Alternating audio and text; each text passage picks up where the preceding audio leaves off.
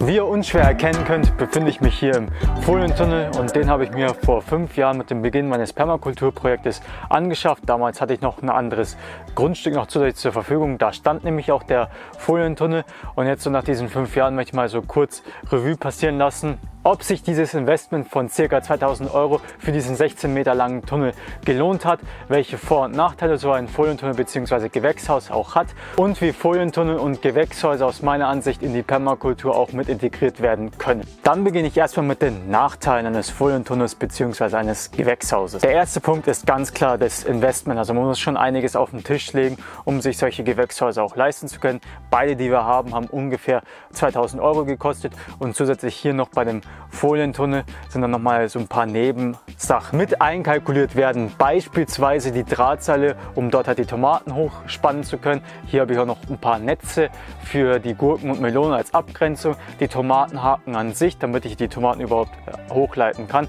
Ich habe jetzt bei mir im, im Tunnel baue ich ungefähr immer so 100 bis 150 Tomaten an und so viele Tomatenhaken brauche ich auch dementsprechend. Ich habe sogar noch ein paar mehr für Gurken oder auch zum Melonen mal zum Aufbinden und da habe ich dann ungefähr so 200 bis 300 Euro in Tomatenhaken auch investiert. Dann noch die entsprechenden Seile, die da sind halt die ganzen Kosten, die da sich mit aufleppern. Eventuell noch ein automatisches Bewässerungssystem, wenn man sich den Luxus leisten möchte.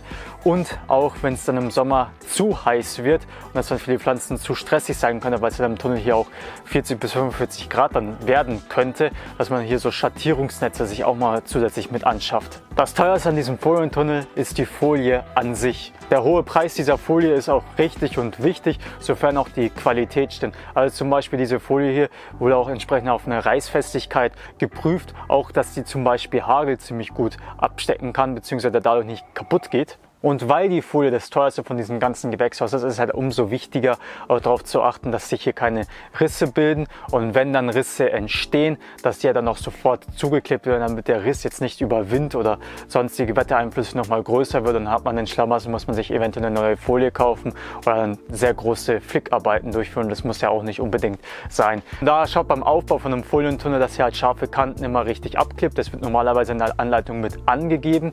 Und dass ihr halt auch, wenn ihr zum Beispiel Beispiel mit einem Messer rumhantiert oder spitze Gegenstände habt oder sonst irgendwas hier während dem Sommer im Tunnel arbeitet, dass ihr halt einfach darauf achtet, dass ihr die Sachen einfach von der Folie fernhaltet oder da nicht äh, zu stark dagegen krempelt. Besonders ärgerlich ist, wenn die Folie Schaden nimmt und das außerhalb meines Einflussbereichs. Zum Beispiel nach Silvester habe ich bemerkt, dass ein Stock von einer Rakete sich senkrecht in den Tunnel mit reingebohrt hat und so halt von oben her ein Loch in meine Folie gemacht hat. Ist zwar ein kleines Loch, aber trotzdem wieder ärgerlich. Man muss halt für eine Bewässerung Versorgung sorgen, weil es hier halt einfach nicht reinregnet. Und entweder man holt sich halt den Luxus und macht eine Selbstbewässerungsanlage, hat vielleicht eine Zisterne, wo man dann halt das Wasser abpumpen kann oder auch einen Brunnen und was ich halt zum Beispiel mache, ich nehme halt meine Wasserfässer, nehme eine Gießkanne oder einen Schlauch und pumpe halt hier das Wasser regelmäßig rein. Ein weiteres Problem ist halt, hier ist es ja in der Regel wärmer als im Außenbereich. Durch die zusätzliche Wärme und auch das schnellere Wachstum hier in einem Folientunnel bzw. im Gewächshaus brauchen die Pflanzen ja auch um einiges mehr Wasser. Das heißt, man muss hier auch etwas regelmäßiger gießen als zum Beispiel im Freiland, sofern der Boden nicht so optimal aufgebaut ist. Dann ist auch wichtig, dass eine ausreichende Luftzirkulation stattfindet. Von daher im Sommer halt immer schön die Türen offen lassen, damit es hier einerseits jetzt nicht zu warm wird bzw. zu heiß. Das hat mein Vater, wo ich mal unterwegs war, vergessen. Da waren dann mal hier, wo beide Türen zu waren, auch beim Gewächshaus 50 bis 60 Grad. Enormer Stress für die Pflanzen, da sind auch einige kaputt gegangen. Und da bildet sich noch Wasser unter der Folie und wenn in einem geschlossenen Raum es richtig heiß wird, noch Feuchtigkeit, dann ist natürlich auch die Pilz- und Schimmelgefahr zusätzlich erhöht. Vor allem wenn es dann Richtung Herbst geht, so im Oktober und November, merkt man es einfach, dass man da regelmäßig aufmachen muss, weil es halt draußen kühler ist und im Tunnel etwas wärmer und dann merkt man halt, dass dann ihr überall es feucht ist und das mögen ja die Tomaten auch nicht, dann geht es auch schon bei denen im Gewächshaus dann äh, zu Neige, wahrscheinlich auch wegen der Braunfäule. Im Sommer habe ich neben den beiden Türen, die offen sind, auch noch die Seiten hochgeklappt, damit hier nochmal eine bessere Luftzirkulation durchkommt, damit diese warme, trockene Luft einfach nicht steht, weil man in einem Gewächshaus dann schnell Probleme bekommen kann mit Spinnmilben zum Beispiel, hatte ich die letzten Jahre oft bei den Gurken. Aufgrund der Tatsache, weil es hier halt im Sommer richtig heiß ist und diese trockene Luft hat die Gurken ziemlich stresst und das halt ein perfektes Milieu für die Spinnmilben ist und da musst du mal dann genau das Gegenteil machen, die Luftfeuchtigkeit erhöhen, weil das ist dann eher so eine Klimazone, die die Spinnmilben zum Beispiel nicht so gerne mögen. Ein weiterer Grund, warum bei mir die Türen, die Seiten offen sind, ist auch wegen den Bestäubern. Die müssen ja auch irgendwie in den Tunnel mit reinkommen, damit sie hier zum Beispiel meine Tomaten, meine Gurken und andere Kulturen mit bestäuben können. Im Profibereich werden dann noch extra zusätzliche Bestäuber gekauft, zum Beispiel Hummeln und die stellt man sich dann hier direkt in den Folientunnel mit rein, damit sie halt dann hier permanent die Aufgaben erfüllen können. Hummeln, Hummeln sind optimal für die Bestäubung von Tomaten zum Beispiel. Was ich im Tunnel sehr gerne mache, ist noch andere Blühpflanzen für die Wildbienen mit anzubauen, wie beispielsweise Borretsch Sonnenblumen oder auch Tagetes. Leider passiert es sehr oft, dass hier einige Insekten sterben, weil sie nicht genau wissen, wie sie aus dem Tunnel wieder rauskommen. Die fliegen dann immer gegen die Wände an die Decke herum, zum Beispiel Schmetterlinge und Bienen und merken halt dann einfach nicht mehr, wo sie halt reingekommen sind und sterben halt dann leider vor Erschöpfung. Und der letzte Punkt, der ein entspanntes und ruhiges Gärtnern verhindert, ist, wenn es regnet. Selbst kleines Nieseln ist hier richtig laut und wenn es mal richtig stürmisch ist, dann versteht man hier wirklich gar nichts mehr. Bei starken Regenfällen denkt man, die Welt würde untergehen. Für den Aufbau von so einem monströsen Tunnel braucht man mindestens zwei Personen. Schon alleine, um die Folie halt richtig und ordentlich überzustülpen. Die ist halt so riesig und auch so schwer. Das geht alleine gar nicht. Also je mehr, desto besser.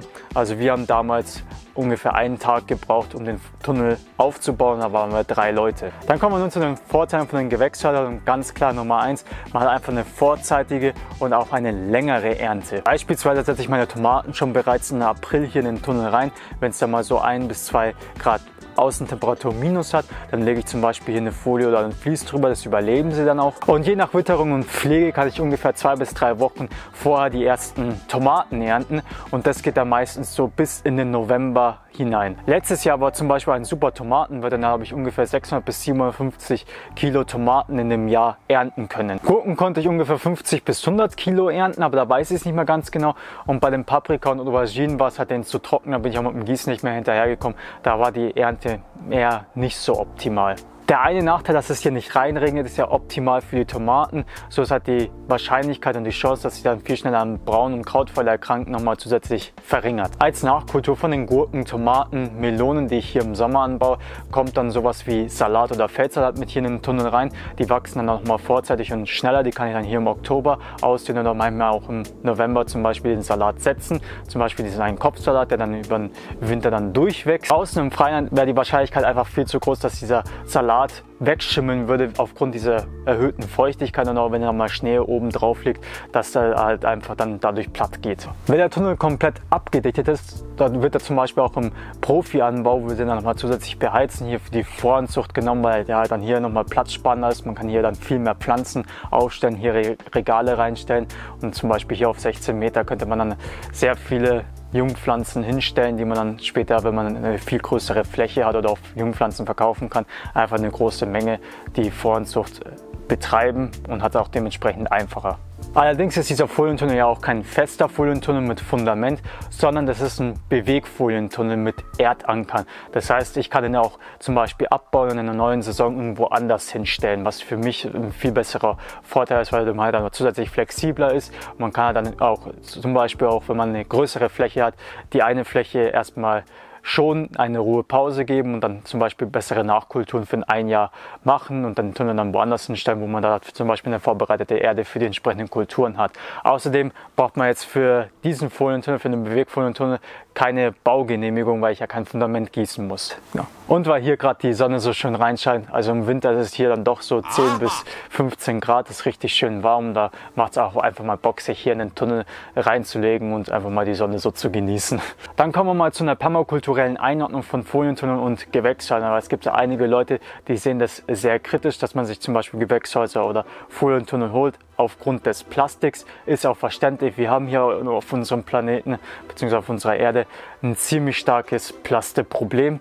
Die Meere sind ja auch zum Teil überflutet. Oder das Plastikmeer in Spanien zum Beispiel bei den ganzen Gewächshäusern ist eine reinste Katastrophe. Allerdings muss man hier sagen, dass man in sehr großen Mengen Obst und Gemüse anbauen kann und da nicht nur seine eigene Familie damit zum Beispiel auch versorgen kann, sondern auch seine Freunde und Nachbarn hier mit regionalem Obst und Gemüse versorgen kann, wodurch man halt auch ein Stück unabhängiger vom Supermarkt wird. Und hier die ganzen Transportwege von zum Beispiel den Niederlanden oder Spanien und Italien eingestrichen werden. Und die katastrophalen Anbaumethoden, zum Beispiel in den Gewächshäusern von Spanien, werden dann auch nicht mehr zusätzlich unterstützt. Zusätzlich ist auch das Gemüse, was hier angebaut wird in dem Tunnel, um einiges gesünder als das alles, was man im Supermarkt findet. Dadurch weniger krank, weniger abhängig von Medikamenten oder auch der Pharmaindustrie. Und das Plasteproblem können wir auch mit Pilzen und Bakterien lösen. Da gibt es auch schon Forschungen in die Richtung, wo halt Pilze zum Beispiel Plastik zersetzen können. Und zum Abschluss der wichtigste Punkt von allen, schaut auf die entsprechende Qualität, auch wenn es mehr kostet, ist es einfach das Geld wert. Meine Eltern haben, bevor sie ihr Gewächshaus gekauft haben oder auch diesen Folientunnel, immer vom Discounter solche, keine Ahnung, was das für Gewächshäuser waren, mit dieser grünen Folie und die waren nach einer Saison entweder komplett kaputt. Dieses Video konnte euch einen Mehrwert geben, wenn ihr auch abwägen möchtet, ob ihr euch ein Gewächshaus oder einen Folientunnel für euren Garten anschaffen möchtet oder auch nicht. Falls ja, freue ich mich gerne, wenn ihr dem Video einen Daumen nach oben gebt. Gerne auch etwas in die Kommentare schreiben, wenn ihr ein Gewächshaus und einen Folientunnel habt, welche Erfahrungen ihr damit gemacht habt und sonst auch gerne den Kanal kostenlos abonnieren und dabei auch auf die Glocke drücken. Sonst kann ich nur jedem empfehlen, mal auf meiner Webseite vorbeizuschauen, um halt hier auf meiner Arbeit nochmal zusätzliche Infos zu bekommen, meine Social Media Kanäle und auf meiner Webseite findet ihr auch zum Beispiel Kursangebote, Coachings, Saatgutlisten, meinen Shop, alles mögliche, um auch weitere Unterstützungsmöglichkeiten Möglichkeiten, damit ich hier auch unabhängig weiterhin für euch Videos produzieren kann. Zum Beispiel, wie ihr zu einem faulen Gärtner werdet und hier euren eigenen Superboden aufbauen könnt und hier einfach viel mehr Spaß im Garten haben könnt. Von der Aussaat bis zur Ernte werde ich euch auch in der Endkarte verlinken. In diesem Sinne, vielen Dank, dass ihr eingeschaltet habt und wir sehen uns in der nächsten Episode hier im Peace Projekt. Bis dahin. Ciao.